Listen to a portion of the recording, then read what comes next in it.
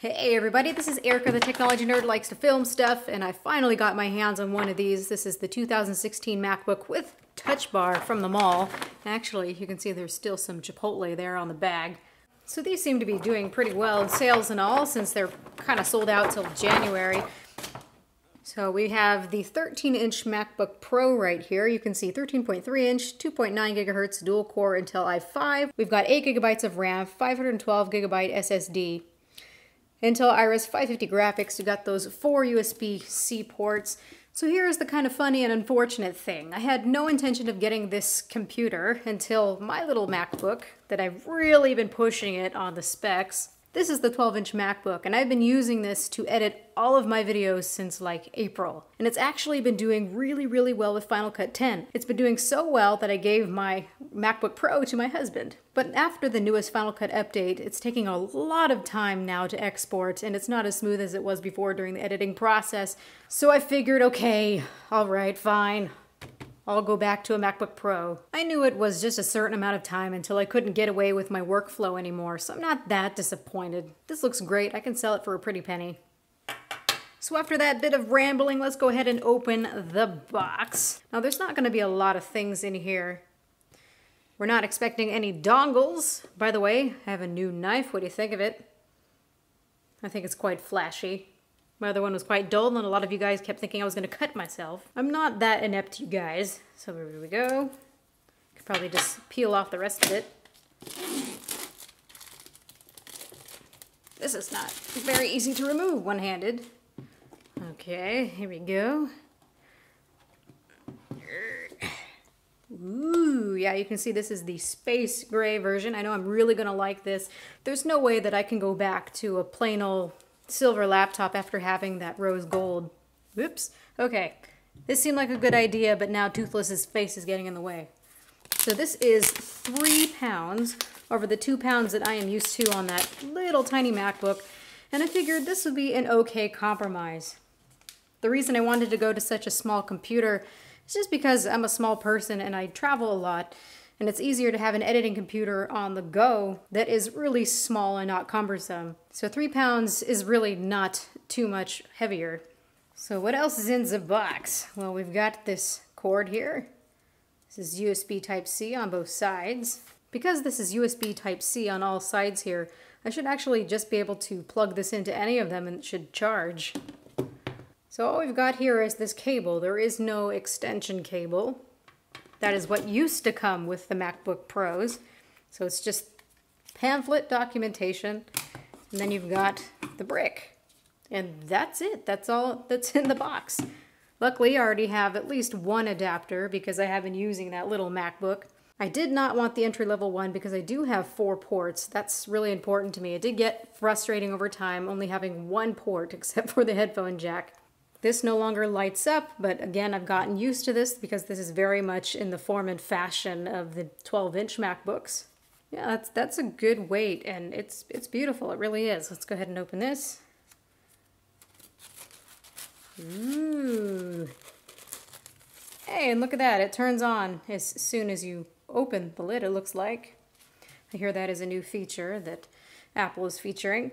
So what I really want to do is to do an impressions video. I will do that after playing around with this for a little bit of time. And then, of course, I want to get into doing a full review on this. This is going to be my editing computer from now on. Be quiet, Siri. You're interrupting my video. Huge trackpad. The 15-inch one is actually bigger than my hand. We've got these Generation 2 butterfly keys, and I'm actually used to these already because I was using that little MacBook. If anything, these are supposed to be a little bit more clicky. You guys, please ask all the questions that you could possibly have about this touch bar. This is an OLED touch bar. My major concern is that this is going to burn in over time. I don't know how useful this is going to be for me just yet. So the hinge is really nice here. There is no type of creaking or noise that shouldn't be there. When I got my very first 12-inch MacBook from 2015, I had some creaking going on in the hinge, which caused me to return it for another one. Also, you can see that there is no plastic anymore. This is an all aluminum metal unibody, and it does look really stunning. I have to say, how pretty a computer looks does matter to me. I know that these do not have the new Kaby Lake processors. I know that we do not have the option for 32 gigabytes of RAM, although I was hearing that Schiller said that had to do with compromising battery life in so many ways. So I know this is pretty much the base mid-tier model. If I can, I would like to exchange this up for the custom model, but those don't come out until January, and I needed this right now. So I will ultimately see how my workflow does on this entry-leveled mid-tier laptop. I really do love the new touchpad. It doesn't click, but it does have that haptic feeling. And to me, this has been the best trackpad ever. Apple also makes great speakers, great display. That all really matters to somebody who edits video. I really plan on getting an external GPU. That will add a more modular aspect, although it will be ultimately more expensive. I really am looking for portability and the best of all worlds. So portable, then I can expand it to being more powerful with an eGPU. When it comes to computers, money is not an object because this is how I do my work. Ah, I almost completely forgot that we have this new Touch ID feature. I should set that up. So apparently the power button is also right here. And this looks like it just goes about the same way that you would with an iPhone. So this touch bar here, it feels kind of like a textured-ish glass. And honestly, if they would have released the 13-inch MacBook without this touch bar, but with all the specs that it currently has, I would have picked that one instead. I don't know if I'm going to like how dynamic this is, and I'm really a stickler for burn-in. But it seems very quick and very responsive. It looks like it gets bright enough. I don't know if there's any controls or anything for brightness. I'm betting not. So function keys are no more, but you can press the function button. That pulls that up. I do know that you can customize this a little bit, and I will see what that ends up looking like. It looks like you can drag some things into the touch bar, so that's interesting. So Apple is not going for a touch interface.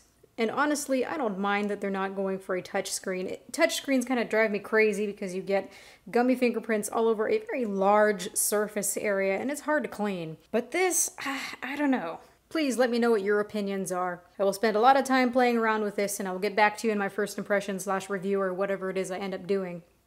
So with this display now, we do have the option for a wider gamut, display P3, so I will do some measurements. Also, I'm sure I'm going to apply my own calibration profile because I'm very much a stickler for the white point. And as far as I can tell, it's a bit coolish and has a little bit of a green tint to it. So you guys, please ask lots of questions. This is going to be my new editing computer and just daily laptop. I want to spend a lot of time getting well acquainted with this. So this has been Erica, the technology nerd likes to film stuff. Please rate, comment, and subscribe. I think that I'm going to be quite happy with this. When it comes to a laptop, I really want it to be pretty. It's the thing I have to stare at for 40 plus hours a week or more. Plus it has a really great display, top of the line speakers. I really like Mac OS. I just can't help that. And if I can get the eGPU situation actually working without having to go and use Boot Camp, that would be great. So ask me your questions, let me know what you think about Apple's new computer, and that touch bar for that matter, and have a good night.